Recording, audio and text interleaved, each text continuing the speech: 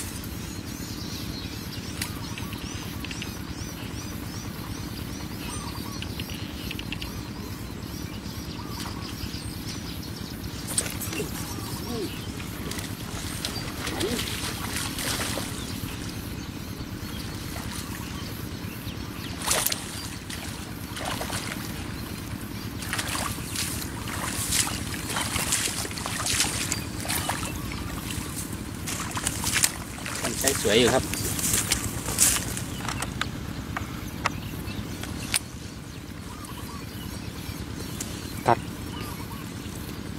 นิวหยดยางแก้คันนะครับตัวนี้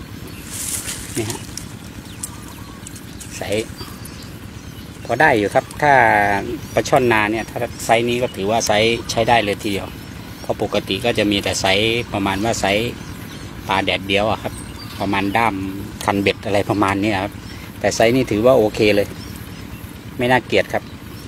นิวหยดยางแก้คันนะครับ ผมตัวนี้สีเหลือง กับสภาพหมายที่น้ำมันเป็นสนิมนะน้ำนาน้ำท่วมมันเป็นสนิมพวกนี้คือก็ต้องใช้เป็นพวกกบยาง พวกหยดยางอะไรพวกนี้ครับ ที่มันเป็นเหยื่อยาง แล้วก็ใช้ประโยชน์ของใบ spin